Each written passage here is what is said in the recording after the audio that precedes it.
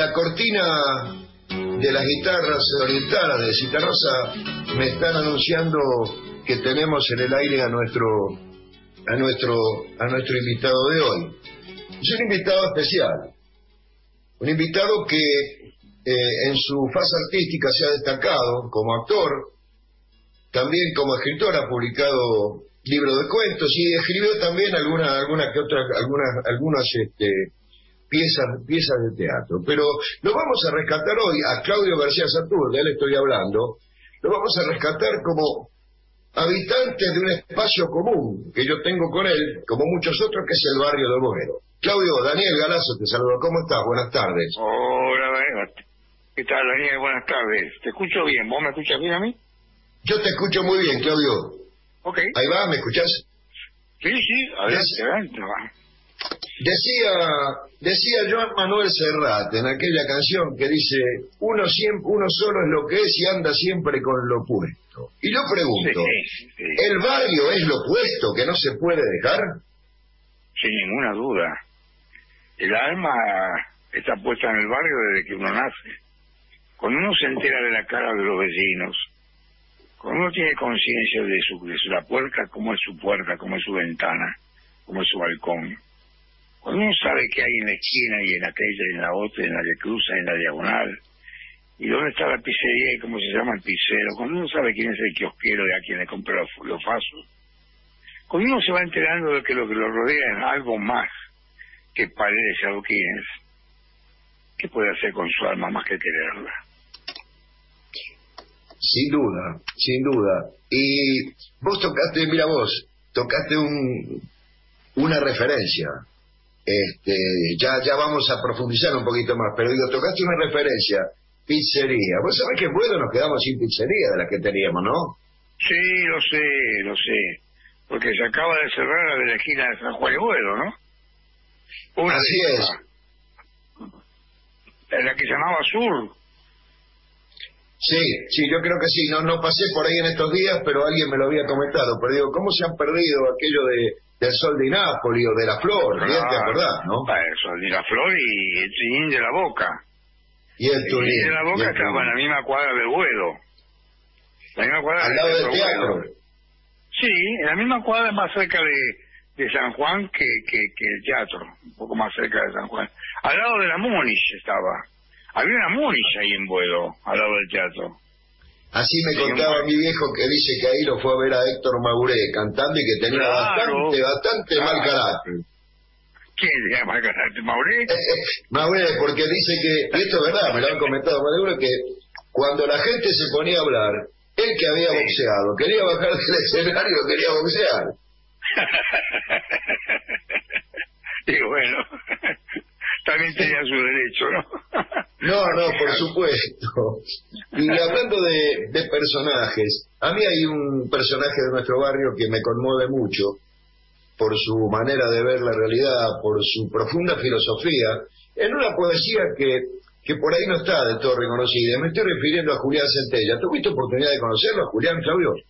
Lo crucé en una oportunidad en el Tortoni hace de esto, qué sé yo, 45 años, qué sé yo, más o menos. Sí, nos saludamos muy, muy afectuosamente. Y bueno, eh, Centella tenía aquello, eh, el, el imán, el imán del barrio. El tipo que no hace falta que le abriera la boca para saber que era Centella, a eso me refiero, ¿no? Este, por su forma de decir, por, por su forma de pensar, por su criterio, por esa cosa tan, tan porteña y al mismo tiempo tan austera de Centella, ¿no? Eh, sí, en El tango y su misterio, uno de sus libros, dice que no habría, a ver, qué, cosa más linda habitar la piecita del fondo en, una casa de patio de la humilde calle Diógenes Taborda, ¿no? muy bien, muy bien, bien, muy bien. Y yo no vivía, yo no dormía en la piecita del fondo, pero dormía en la piecita de arriba. ¿Vos? En mi, en mi, en mi, en mi casa de la calle, de la calle Loria. Esa, Loria entre San Juan y Cochabamba. Loria entre San Juan y Cochabamba. La primera casa de, a, partir de, San Juan, porque en la esquina estaba la farmacia. Sí. Farmacia de la Ideal se llamaba. Con el farmacéutico que se llamaba León Silverfish. Un... Yo nunca vi un guardapolvo tan blanco como el de León Silverfish. Bueno, Este, para esa época lo- los barrio eran seres especiales, ¿eh? Sí, claro, claro, claro, claro, claro. Eso conocían cada, cada, los farma- farmacéuticos me refiero, ¿no? Sí, sí. Conocían cada, cada, cada casa, porque ellos llevaban los medicamentos a las casas, en- entraban, a veces tocaban el timbre, y no era el farmacéutico el que entraba, era el pibe que los llevaba, ¿no? Que llevaba Sí, los sí. remedios. Pero era un consultor inmediato del farmacéutico. Era primer- la, pri- primera era la consulta primera que- instancia médica. Ah, exactamente, la primera instancia médica. Vos, vos lo dijiste muy bien. Así es. así Pero, eh, y lo estábamos hablando, ¿te acordás? Fuera del aire, pero precisé la dirección de, rescatemos la, la, la figura cultural de Boedo, ¿no? y sobre todo el ámbito teatral, sobre todo con el, con el aporte anarquista y socialista, Sí, claro. este, pero recordaba eh, el teatro Florencio Sánchez de Loria y Sí. Humberto I. Correcto, correcto, en esa esquina, sí, sí. Bueno, abajo estaba, abajo digo, en el mismo lugar, estaba la octava socialista ahí. La octava Exacto. socialista, la, la sección octava socialista estaba ahí, donde estaba Florencio Sánchez. Y a donde yo iba de chico, pues yo vivía a una cuadra de ahí, eh, a ver, a ver películas, po- po- pasaban películas, de, películas en 16 milímetros, películas de dibujos y aventuras, esas cosas eh, que tenían esos lugares donde, donde los chicos, títeres, había títeres a veces ahí, y teatro, teatro siempre, obviamente, ¿no? mucho teatro. Yo conocí, conocí, lo vi, porque yo era muy chico, a uno de los grandes directores del lugar, que fue Pedro Zaneta. Sí, Zaneta señor. Fue un, ah, fue un, fue, bueno, un tipo de alto, de, de negro, un chambergo negro, muy, una figura así, este, esa que impone el respeto, ¿no? Eh, yo me acuerdo de él de chico, y además porque mi tío, tío político, casado con la hermana de mi mamá, Arturo Fresia, fue con quien yo empecé a hacer teatro siendo un chico. Yo tenía nueve años cuando subí por primera vez a un escenario en el Club Juvenil. El Club Juvenil estaba en la calle, en la calle, perdón, con hombres y Salcedo. Ajá. A, a pocos metros de Salcedo estaba el Club Juvenil, un, club, de, club familiar, club de bochas, baile, café, carnavales. eh. Recuerdo los carnavales en el Club Juvenil y recuerdo haber estado sobre ese escenario. Todavía tengo un programa de, de, mi actuación de chico en ese escenario. Qué bueno, ¿no? Y los clubes de barrio, bueno, recogían todo eso. Mírame, cuando vos hablabas del juvenil, nosotros eh, todavía queda la sociedad en masa, donde creo que la sociedad de, de sordomudo que se hacía Sordo de mudo, baile sordo salí. mudo, claro. El 25 de mayo se llama. El Salón Eh, 25 puede de mayo. Sí, sí. Puede ser. el Salón El, 25 de Bris- mayo. el Bristol de la calle La Rioja, También, claro, claro, sí, sí. Bueno, hay entre teatros y cine. Teatro, teatro sería lo más importante, obviamente era... Había sido teatro en Nilo también. Antes señor. del cine, claro. Viene, viene de larga data. el- el- el- yo también estuve en el escenario del Nilo haciendo algo con mi tío para, para, para la familia, era eso. Como también hicimos teatro en el Salón Odeón, que estaba donde, en la cancha de San Lorenzo. Por la Vía de la Plata, estaba también la parte de la sede del club, ahí había un salón que se llamaba Odeón, que tenía una sala linda, con escenario lindo, bien bien puesta, la salita esa. Y en ese escenario yo tenía 19 años cuando hice, hicimos varias obras ahí. Para, para la familia, para la gente, del- para el lugar. Estamos hablando de Buedo y, y Avenida de la Plata y San Lorenzo, significa eh, Buedo, ¿no? sí, señor. Sí, señor. Mm. Bueno Bueno. puro, bueno en estado puro, te diría yo. Bueno, Boedo en estado puro, sí, muy bien dicho. Yo tendría que hacerte una nota a vos, no vos a mí. Porque está muy bien. ¿Por qué? No. y yendo, digo, qué, qué, qué notable, ¿no? Esta, este hilo conductor que nos trae, que, que a veces pienso que se pierde y se retoma. Las nuevas generaciones no tienen mucha idea de todo esto, Claudio, de, de, la herencia teatral, artística, literaria de Buedo, ¿no? No, no, claro, porque obviamente que hoy los barrios seguramente habrá alguna sociedad, algún, algún fomento, alguna alguna entidad que haga, que haga algo, una biblioteca. Pero lo que pasa es que antes había una biblioteca cada tres cuadras. Y los socialistas fundaron muchas bibliotecas en, los barrios de, Buenos Aires. Bueno, en otro tiempo. No se le puede criticar a los pibes de hoy que no sepan aquello, porque es como que nosotros no supiéramos qué pasaba en, Buenos Aires en 1900, ¿no? Pero, aunque estábamos más cerca del 1900 que del 2000. Ahora estamos en pleno 2000 y ya el, casi te diría que 1950 nos queda lejos, ¿no? Sí, pero yo creo que, ¿sabes qué, Claudio? Vos tenés razón, a los pibes no se lo pueden culpar, pero que ha habido, me parece a mí, ¿no? Me parece a mí, que ha habido toda una acción deliberada a borrar la impronta de los pueblos, a que pierdan la memoria, de esto no tengo duda, ¿eh? No, yo tampoco. Estamos colonizados. Estamos, estamos colonizados. Este es un país colonizado. Culturalmente ese pueblo lo han ido colonizando. Con la eh, lamentable ayuda de adentro, ¿no? Porque no coloniza solo el de afuera. El coloniza es el de adentro.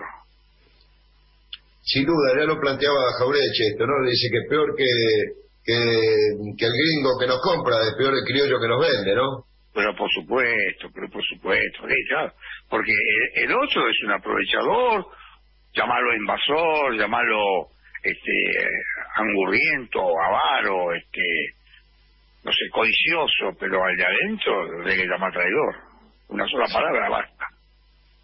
Sí, sí, sin duda. Yo te cuento una anécdota, mira, para eh, una vez me la contaron a mí, eh, que alguien que fue a Musimundo, en una fue a preguntarle a la chica que, que estaba vendiendo y le dice, mira, quisiera saber este si tenés un disco del Cuchi Leguizamón, poeta salteño, bueno, obviamente, ¿no?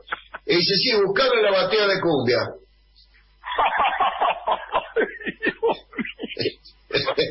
Textual. Textual. seguro, que claro que es sexual, seguro, claro. Es así, la chica no tiene culpa tampoco, porque ¿a dónde lo escuchaban al Cuchi? ¿A dónde lo escuchaban? ¿En la radio cada, cada, cada cuánto? Cada y yo diría que nunca, nunca. Claro, cada, cada tres meses la pasaba con el radio. Ahora la, la cumbia ganó más, mucho más, y mucho más ganó la, la música extranjera, obviamente. Pasó algo parecido no tan terrible como lo de Leguizamón, pero con el tango. Cuando no es negocio para una empresa y cuando intentan que no sea negocio, bueno, eso como todo, vos sabés muy bien, Daniel, cómo es esto. Esto es, este, saquémosle al otro las posibilidades de vender para poder vender nosotros. Quitémosle al otro la posibilidad de ofrecer algo para que la podamos ofrecer nosotros. ¿Y cómo lo podemos hacer eso? Y eso lo podemos hacer a través de la extorsión o a través de, ofrecerle a la gente que venga a mí a comprarme, porque yo lo vendo 50% menos y pierdo plata durante un año y el otro se funde y yo le compro el negocio. Sí. Esto, esto es, esa es la colonización en su grado más este más pedestre, más vulgar, pero es eso lo que lo que ocurre. Te van comiendo, te van comiendo. Sí, y decime, Claudio, dentro de, lo que es el ambiente teatral, ¿no? Desde siempre, eh, de aquella de aquella corriente del teatro de Leónidas Barleta, del teatro del pueblo, ¿queda algo todavía en donde exista eh, el actor eh, o el artista en general, ¿no? En cualquiera de las ramas? Plástica, lo que fuere, ¿existe comprometido con su realidad en esa visión que tenía, por ejemplo, el Grupo Güero? Sí, gente comprometida con la realidad, o en definitiva, comprometida con su pensamiento y su país, ¿no? La realidad a veces, la realidad a veces es lo que está en contra de su, de su deseo. La realidad es, lo, lamentable a veces, muchas, muchas veces. Pero sí que hay, por supuesto que hay, ¿eh? y en muchos teatros que lo que, lo que llamamos este under y tenemos que usar una palabra extranjera, fíjate vos qué curioso, ¿no? Sí. pero ahí, ahí, está lo, que lo que lo que la pelean todos los días. Y no hablemos de este momento, porque este momento no la puede pelear nadie por la, por la pandemia turra esta que nos ha, nos ha agarrado a todos. Entonces este, ya es más difícil todavía aún. Tenemos un enemigo mayor. Y no tiene todo el mundo ese enemigo, por otra parte. Pero sí que hay gente, por supuesto que la hay, siempre la hay, siempre la va a haber, siempre la va a haber. Ahora lo que pasa es que el problema, Daniel, es el dinero. Porque no, no puedo decir, fulano dijo, políticamente hablando, ¿no? Fulano dijo que eso de Mengano y no, porque la verdad es un es una porquería, porque le, vendió a este, tal cosa al enemigo. Y, bueno, y tiene razón, quizás tenga razón. Ahora, cuando vos indagas un poco más, resulta que el que está afirmando, o mejor dicho, denunciando algo que otro ha hecho, a veces es porque está al servicio de un interés también. Entonces, es una lucha de intereses. ¿Qué hay detrás del interés? Dinero. No hay otra cosa. Y el dinero que poder. Cuando se alcanza mucho dinero, no ya no te interesa tanto el dinero, te interesa el poder. Y el poder es más jodido que la búsqueda de dinero, porque, bueno, implica doblegar al otro, ¿no? Sí, y en definitiva lo que vos estás planteando yo lo entiendo como, en mi manera de ver, como lo que es eh, el motor y la lucha de la historia, porque la historia en es. eso, es la lucha, de la lucha por el poder, ¿no? Sí, sin duda, sí, sí, sí, sí. Y aquello de que la, la, historia lo escribe lo que gana, no tenga ninguna duda. La historia lo, escribe lo que gana, ¿no? Es cierto. Hablábamos, hablábamos también en privado que vos marcabas algo que estaba relacionado con lo que veníamos diciendo hace un ratito acerca de, bueno, la juventud obviamente que no tiene la culpa. Eh, pero me parece que nuestra juventud, yo no estoy diciendo, no estoy haciendo ningún juicio de valor, me parece que no había perdido el hábito de la lectura como habíamos llegado a la conclusión telefónicamente de que la juventud ahora lo perdió, ¿no? Sí, se perdió el hábito de la lectura porque también la máquina ayudó mucho. La máquina, decir la máquina, y no, y no, y no, no, no, no califico de malo al internet porque es, porque es muy importante, lo es, pero el internet encontrar más basura que, que, el libro de texto para leer. Y si en la, escuela no te enseñan, porque yo no creo que se enseñe a leer. a ver, a ver, a ver si puedo ser este, claro. ¿Qué es aprender a leer? Entender las palabras de tal manera que junto a otras palabras impliquen un pensamiento o, una información o algo que te haga comprender lo que estás buscando, por ejemplo. Pero vos no tenés mucho que, que indagar sobre una frase que dice el niño lee el libro. ¿Y cuánto más vas a avanzar sobre eso? Ahora, ¿eso es aprender a leer? Sí. Ahora, ¿eso es saber leer? Porque saber leer es saber darse cuenta de lo que dice una frase detrás de la frase. Hay títulos de diarios, especialmente de los dos diarios más importantes del, país, que digo, yo no sé cómo se da cuenta la gente de que está leyendo una canallada. ¿Cómo es posible que no sepa leer eso? Si sabe leer. Bueno, no se dan cuenta. ¿Por qué? Eso ya es una condición, no justamente una condición, una falencia humana de que el pensamiento es como, es como que si hay algo que me fatiga es pensar. Entonces, que, que piensen por mí, viejo. Entonces yo, pongo la noticia y compro todo lo que me dicen, porque como yo creo en ese tipo, y no voy a dar cuenta jamás que es un canalla, que es un servil, que es un arrodillado, que es un rastrero, no voy a dar cuenta. Y si me diese cuenta, correría un riesgo mucho más grande. Sería el riesgo de no admitirlo. Porque si lo admito, estoy diciendo que durante 50 años he vivido al cohete. bueno, pero hay todo un aparato cultural al servicio de eso, Claudio. Eh, eh, digo más, inclusive, inclusive la educación está al servicio de eso. Mirá, yo nunca me olvido, cuando yo hice la secundaria, yo hice la secundaria del 66 al 70. Ah. Estudiábamos en plena dictadura de Hungría, educación democrática, en plena dictadura. Sí, sí, sí, sí, sí, sí. ¿Y? Servía para... Bueno, pero claro, la educación democrática que los libros no mostraban era la educación democrática que los poderosos, eh, eh, eh, el sistema democrático que los poderosos querían, ¿no? Sí, claro, y además que, lo, que es como enseñar a cocinar a alguien que después lo mandas a la celda con un vaso de agua y un cacho pan. No, no, no, no, claro, claro, claro. Se cocina muy bien, pero no puedo comer nunca. Eh, sí, por supuesto, esto es, esto es historia de todos los tiempos, este, Daniel, lo sabemos.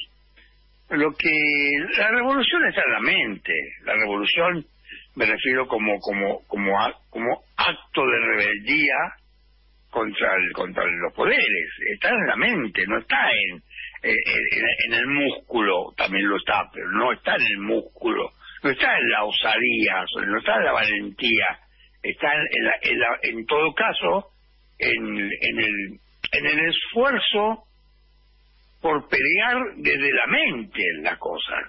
Entonces, por eso cuando se juntan Plaza de Gallo, como pasó acá, con el 2 por 1 cuando lo quisieron meter, estos turros, el 2 por 1 por, por, contra los que estaban que tenían prisión de por esa manera, se tuvieron que echar para atrás.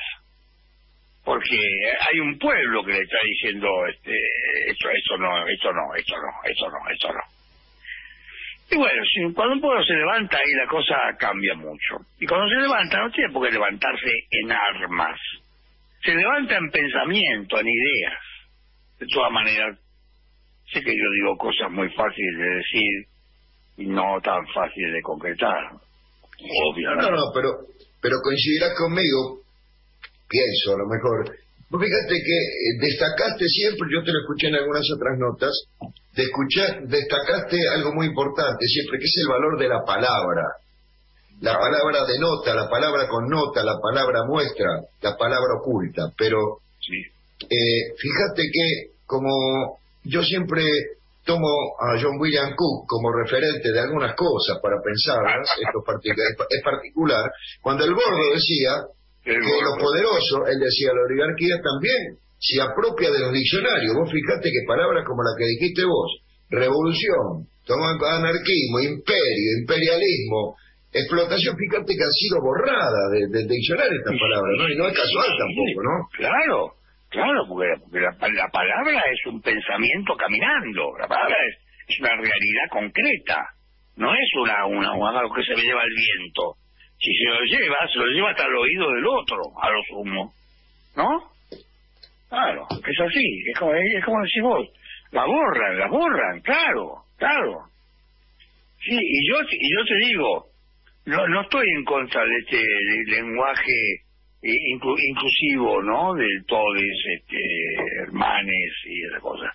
No estoy en contra a priori, porque realmente eh, es razonable eso de que lo masculino se ha hecho dueño de, del grupo, porque hay 99 mujeres y un hombre y tenemos que decir nosotros.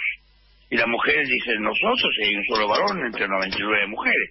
Bueno, sí, es cierto, pero por otro lado, ese todes, esa, esa E nos va a ir apartando cada vez más del idioma original, del, no del idioma original, de la intención original al referirnos a nosotros mismos. Y ya te digo, no estoy en contra de, un idioma inclusivo. Más aún, a mí se me ocurrió una cosa que es, que es una torpeza quizás. Y dice, bueno, ¿cuánto, ¿cuántos años hace que el castellano tiene como el masculino en eh, que, que, que, banca todo el, el concepto eh, de la frase, ¿no? Entonces, ¿cuánto así? Vamos a ponerle que 10.000 años. Bueno, hagamos 10.000 años con la A ahora. De acá para acá todos... Hay 100 hombres y una mujer, nosotras. Decimos los 100 hombres, decimos nosotras. Es compensarlo, pero bueno, no lo vamos a ver en todos 10.000 años que, hemos equilibrado el problema, ¿no? Vos sabés que respecto, a ese respecto a ese tema, yo tengo algunas ambigüedades no resueltas, pero no no me molesta el lenguaje el lenguaje inclusivo. No, pero yo lo he visto, no, claro. ¿Sabés qué, Claudio? Lo he visto en el aula y me preocupa toda una postura que hay detrás de eso cuando vos en un aula ves que una chica de 13 años, 14 años, este y ves este guerra al macho, muerte al varón, me parece que por ese lado no va la cosa. No, no. Y algunos, y algunos la están llevando por ese lado, ¿eh? Claro, claro, pero eso, eso es, eso lleva su tiempo, como la misma historia lleva su tiempo. Lo que pasa es que la, historia de la ignominia, la historia del terror, la historia de, del asesinato ya, tiene demasiados siglos, todos los siglos tiene. Pero ocurre lo que pasa con, con esto de lo que vos comentás como una chica que de pronto dice guerra al macho y no sabe por, bien por qué, porque tiene 14 años y no sabe bien por qué, eh, porque se lo ha metido en la cabeza. Y tiene razón en cuanto a que tiene que pelear el espacio, pero no al pero no al compañero. Si el varón es un compañero, pero va, Sin duda. Ahora, como sale de la, es como que sale de la cárcel. Quiere, eh, eh comer todo lo que no comió durante 10 años, quiere ponerse una, una camisa limpia, nueva, una corbata, quiere salir a la noche, quiere ir a bailar, quiere tomar una copa en una barra, quiere estar con una chica, o una chica con un varón, o dos varones juntos, o, dos mujeres, qué sé yo, no importa. Pero hay que salir hambrientos. Entonces todo esto que ha ido pasando, fomentando y con razón esta lucha femenina, porque esta lucha femenina va a dar un resultado extraordinario dentro de 100 años. Sí, sí. Dentro de 100 años, dentro de 100 años, yo no tengo ninguna duda, obviamente que no lo voy a ver, porque la lógica es esa, pero bueno, va a ser, esa va a ser la revolución. La mujer va a ser la revolución. Decimos una cosa, tenés razón, pero en los 40, digo, la mujer, en su gran mayoría, eh, a ver, vamos a hacer un análisis sencillito para sociológicamente muy por encima. No era, la mayoría no era las que estudiaban. Y la mayoría laburaba en fábrica, quiere decir que conocían la lucha obrera, eh, aportaban en la casa, laburaban, hay un antecedente, ¿no? Y peleaban de la obrera. Sí, sí, sí, sí. Pero eh, eh, eh, los varones, en esos tiempos, yo en 40 era, un niño de dos años, pero eh, el varón se había entrorizado como dueño de la, de la cosa. Y bueno, y venía de larga data, venía de toda la data, de toda la historia del varón siendo el que el que, que mandaba en la casa, en la mesa, en la cama, en la palabra, en todo. Bueno, eh, eso fue una, una lucha de él, tampoco tenía, podían votar la mía. No podían estudiar, no podían estudiar. Pero hubo quienes de ella que le torcieron el, brazo al poder. Hablo de Cecilia Grierson, por ejemplo, cuando una primera médica, digo, ¿no? Cuando en la Ah, facultad sí. de medicina admitían a hombres, ¿no? Exacto, era la única mía. Claro. Era la única mía. Claro. Y, y era, y era bastante, bastante o, o muy mal mirada. Incluso mal mirada por las mujeres. Sí, sí. Porque sí. claro, eh, era, era una oveja descarriada. Aparte, ¿cómo va. ¿cómo va cómo va a curar una mujer? ¿Qué? ¿Le va a mirar el cuerpo a un hombre desnudo? Claro. Claro. no, Claro. no, es, es- es- claro. No, pues ¿cómo hace? ¿Cómo hace que, que va, va, va a tender de la cintura para arriba y los testículos para abajo? Sí, seguramente que esa división pesaba y debe haber pesado mucho. Decime, Sí, vos escri- escribiste, ¿no? Heterocuentos. sí, o hace muchos años, sí, sí. Bueno, sí, uno, uno- unos cuentos, sí. sí. Cuentos. Cuentos y algunas cosas eran como unas, este, lo que yo llamé naderías, que es un poco sensaciones, ¿no? Que, que tiene uno y escribe, ¿no? Pero a mí siempre me gustó escribir, este, lo cual no significa que, que a uno le guste algo lo haga bien. Pero Y de- y eh, el cuento, No, el no. cuento tiene, hay algunos cuentos que son, me parece que muy interesantes y, y así me lo ha dicho gente que sabe leer también, ¿no? Bien. Y decime una cosa, porque esto lo hablábamos con, con Alejandro Dolina cuando estuvo acá en el programa. Uh, qué bueno, Eh. Hablábamos, sí, eh, hablábamos de, él decía, y de la angustia que siente alguien que escribe, ¿no? Eh, que, que, que produce cierta angustia. Yo también escribo. Y eso que te lleva a no saber a dónde vas a, a desembarcar o por qué lado vas a agarrar y la novela por dónde va a seguir. Esa angustia de la sentiste cuando cuando cuando te tocó escribir o cuando decidiste Yo, escribir. no, no, no, angustia no, porque yo no tengo la, la vocación, mejor dicho, no es la vocación, yo no tengo la impronta de que esto lo tengo que decir y lo tengo que decir con palabras escritas. Eso lo tengo que decir y lo digo cuando tengo una nota como en este caso, digo lo que, que a veces eh, en una nota como esta pronto digo algo que es, que es que es interesante, por lo menos interesante, no digo que, que sea mágico, pero puedo decir cosas interesantes. Ahora, eso sí, escribir a mí me resulta extremadamente grato, porque lo curioso de escribir es que uno no sabe por qué escribe lo que está escribiendo. No lo sabe. Parecemos como, y admitamos esta posibilidad de que es como una especie de mediunidad, ¿no? Como una especie eh, me, me, medita, alguien medita algo, yo escribo, especialmente teatro, por ejemplo, que yo acabo de, de escribir en estos últimos tres meses dos, dos, dos obras, este, que no sé si serán algún día, no sé, a mí me divierte tanto, me, me al, al decir divertir, no quiero decir que me ría, me divierte, me, me, me, me, me- me- lo disfruto, lo paso bien con, con, conmigo, mis ideas, y estas, estas cosas que salen ahí en la escritura, y si vos escribís, seguramente te pasará lo mismo, pero no tengo esa cosa de, uy, hace, qué sé yo, 15 días que no escribo, hace paso de un año sin escribir, porque no... Un día agarro la compu y me siento y ahí va, ¿no? Algo sale, y si después este eso que salió me invita a continuar, continúo, y si no, lo queda abandonado como tantas cosas que uno abandona en la vida, ¿no? Sí.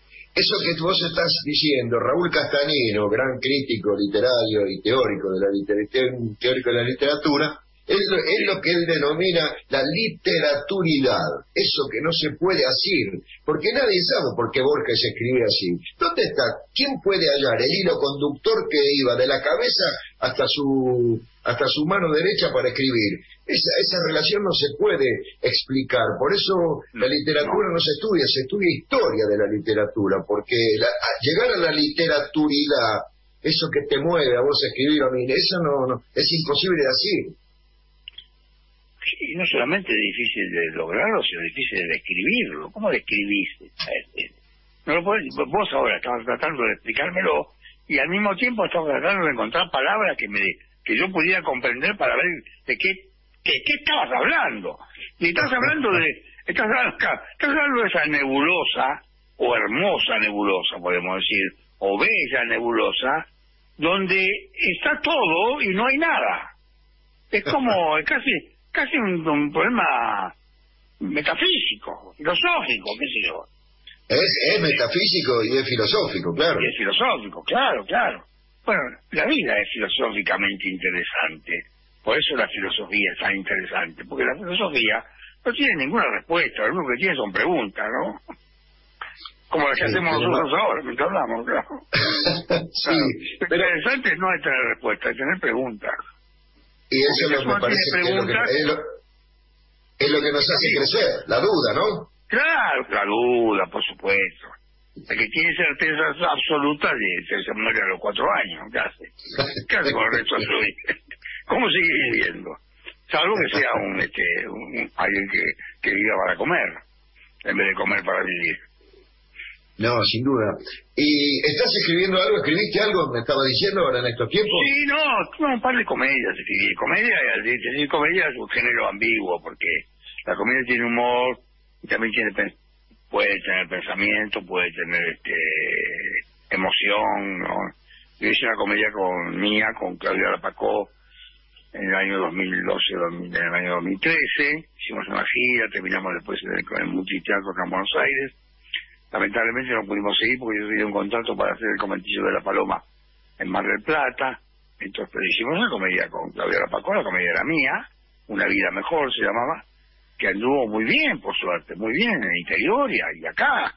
Y bueno, y, yo espero volver a hacer algo, pero bueno, yo, yo sé cuántos años voy a cumplir. Dime. Yo voy a cumplir, porque cumplo, yo cumplo este mes, ¿no? El 22 de este mes cumplo. Sí, eso 83, 83. Un pibe. Un pibe, tal cual. Lo he dicho con una, con exactitud que me sorprende. ¿Quién? ¿Yo? No, yo digo que lo has dicho con una exactitud que soy, soy un pibe, que de verdad me sorprende. Yo no dicho nunca una palabra como esa. me salió así. Ahora... Te salió del corazón. Obvio, te dirá. Yendo al conventillo de la paloma, mira, tocaste un tema, eh, a mí me, me puede mucho, eh, esto que se ha denominado el género chico, ¿no? Que estamos hablando de sainete, ¿sí? Sí, claro, claro que, que no es para mi género chico, que va de la mano de, de lo que, porque, ¿qué te voy a explicar a vos? Pero eh, si el sainete es, eh, digamos, el patio del conventillo y después viene Disépolo Armando y hace el grotesco, que de puerta para adentro, de lo que le pasaba al inmigrante, más o menos para decir alguna cosa. Yo no lo considero género chico. Esto, ¿No está un poco descuidado el tema del sainete en el teatro actual? Y está descuidado en el sentido de que ¿dónde, dónde ubicas al sainete? Porque el sainete como género podría ser también adentro del edificio de moderno, porque Totalmente.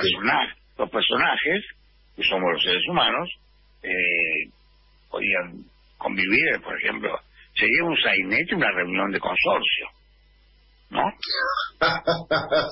sí, sí. Sí, un sainete fantástico. Pero lo que pasa es que cuando decimos sainete, nos remitimos a aquellos momentos en que la ciudad de Buenos Aires y otros lugares del interior, del interior del país también obviamente, pero Buenos Aires como, como un centro neurálgico sin duda, esa es la, aparición del, del, del, del, otro extranjero, el tano, el gallego, el turco, el judío. Entonces, este, ahí el sainete cobra además de una cuestión de de competencias, de intereses y gustos y pasiones, cobra también un color, un colores, tiene colores el sainete de los de los 20 o 30 para acá. Lo echaron tanto para acá porque el sainete... Entonces cuando se hace el sainete, que es muy lindo, yo amo el sainete, amo el sainete. Eh, eh, en realidad uno cuando hay que seguir haciéndolo porque uno lo que le está contando al público, aparte el público muere por el sainete, de risa, muere de alegría, muere de, de, ver este ese, Buenos Aires lleno de color, no de, edificios cuadrados, balcones blancos, todos igualitos, ¿no? Este, esa, esa vida dolorosa que, que tiene el, el llevado al patio que lo hace más light, y que después, como decimos, Armando Discépolo y otros, Novión, por ejemplo, sí. Eh, lo, lo, lo, lo, Felipe Novoa, lo mete adentro de la, de, la habitación, al meterlo adentro de la habitación ya se convierte en un drama y en, en grotesco, digamos, el grotesco está puertas adentro, no está puertas afuera. Sí, fuerte color local el sainete, eso es indudable, sí, sí, es cierto. Claro, claro. Entonces, si no se hace en eso, si no se ubica en ese tiempo. Eh, hola, ¿estás ahí? Estoy escuchando, sí, atentamente. Ah, bueno, bueno, bueno, no, hay un ruidito. Por Eh, si no se ubica en ese tiempo, es como pierde, es como que pierde magia, ¿no? Cuando hicimos el comentillo ahora, que le hicimos tres veces en el Cervantes, en el 10, en el 12 y en el 10, en el 12, dije bien, y en Mar del Plata, eh, eh, el Teatro Cervantes hacía muchos años que no usaba lo que se llamaba el gallinero, la parte de arriba de todo del teatro, lo que está la cazuela y el gallinero allá arriba, contra el, contra el, casi casi al aire libre, el público. Hubo que habilitar el gallinero porque metíamos 800, 900 personas, viejo, en, el Cervantes. Qué bueno. Y, y estaban arriba, lejos, eran maravillosos ahí al escenario. Y, y ver ese público, y al final cuando el aplauso y la gente parada, es uno de los momentos más este, hermosos que yo he vivido haciendo ese tano del, del conventillo que eso. Personaje entrañable, delicioso, divertido. Eh, me, dio muchas satisfacciones, por supuesto. Eh, bueno, el teatro, a diferencia de la televisión, por mejor que le vaya, y en un año, de, que nunca es un año en Cervantes, porque Cervantes siempre es una temporada de dos o tres meses como mucho, porque tiene que renovarlo, ¿no? Hay que renovar la cartelera.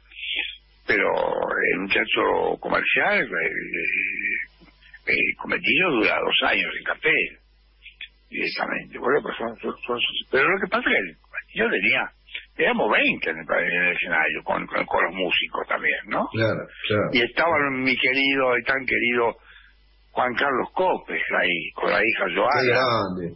Qué eh, grande. y verlo bailar toda la noche a, a Copes con la hija era una delicia, una delicia.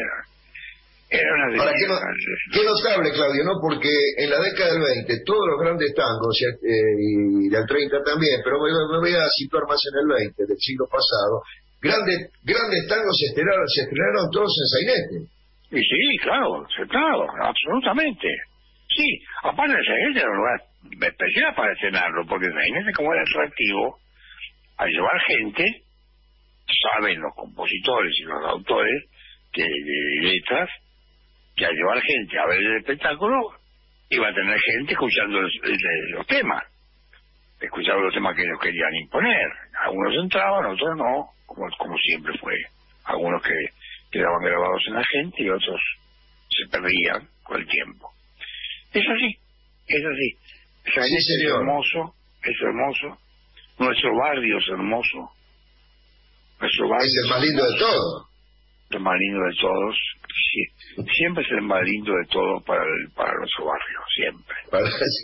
Decía... La última vez, creo que la última vez que estuve, no sé si fue la última vez, pero creo que fue en, el, en este verano del 20, antes de que llegara el bicho este sí. de mierda, porque hay que nombrarlo de alguna manera. Exactamente. Eh, me encuentro en la esquina de, estaba yo con un amigo, amigo con el que me crié acá en el barrio, Jorgito García, García también apellido como yo, este, en la esquina de Carlos Calvo y, y Buedo hay una confitería con las mesas afuera.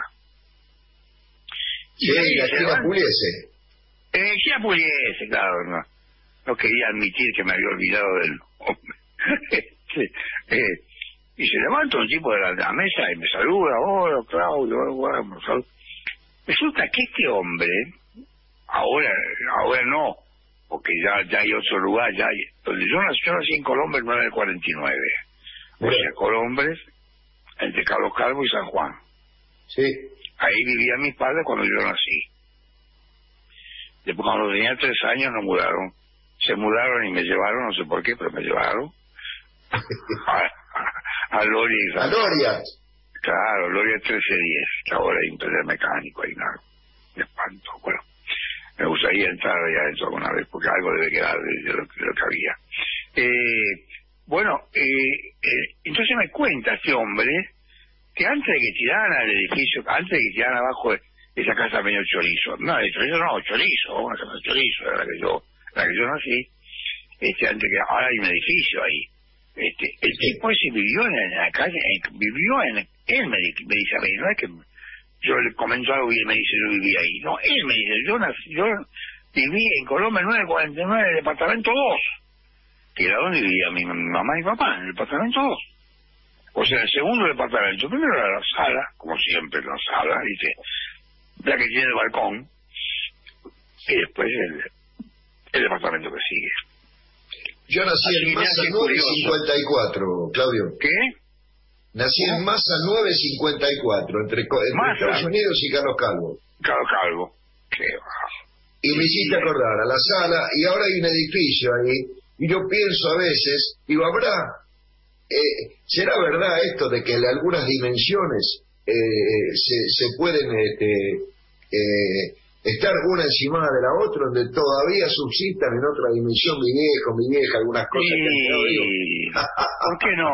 Esos, esos portales donde uno puede pasar por un portal y entrar en otra dimensión, ¿no? Eso es lo que no me salía, el portal que te da acceso a otra Claro. dimensión. A otro tiempo. Pero lo, existe ese portal. Existe en ¿Vos cada uno de sí? nosotros.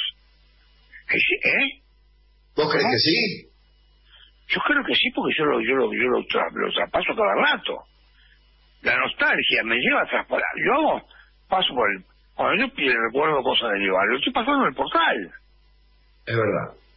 Y cuando sueño, y cuando sueño, y sueño cosas de ese tiempo, ¿qué estoy pasando en un portal? Yo soy dueño del portal después de todo. Yo tengo la llave. Y paso cuando quiero. Es verdad. Es verdad. Claudio, se me termina el programa. Sí, Yo te quiero también. agradecer. Ya, ya te voy a convocar nuevamente si vos no decidís lo contrario para poder seguir con esta. A mí yo la pasé muy bien, no sé cómo la pasaste vos. Bien, querido, bien, bien, bien. Bueno, Este, estoy, na- estoy nadando en, en aguas conocidas. y yo también. Y eso me pone muy contento. La verdad que me pone Claro muy que sí, contento. claro que sí, claro que sí, claro que sí. Te mando, Bueno. te mando un, un gran, gran abrazo, cuidémonos y bueno, te convoco para cualquier otro momento que sigamos con esta charla. ¿Te parece? Claro que sí, claro que sí, con mucho gusto. Bueno, abrazo grande, abrazo a toda la familia Galazo, Gracias. a ese- un a abrazo. ese ape- a ese- a ese apellido carpintero. Y, este, así es, así es. y en cualquier momento no, nos cruzaremos en la vida para siempre tener una instancia mejor. Sí, señor, y tomaremos un café en bueno. ¿Cómo no? O una ginebra. ¿Cómo? Eh, eh, eh, mejor todavía. Te mando un abrazo grande, Claudio. Saluda a la familia. Igualmente, gracias, mi viejo, gracias, gracias. Chao. Gracias, eh. Gracias.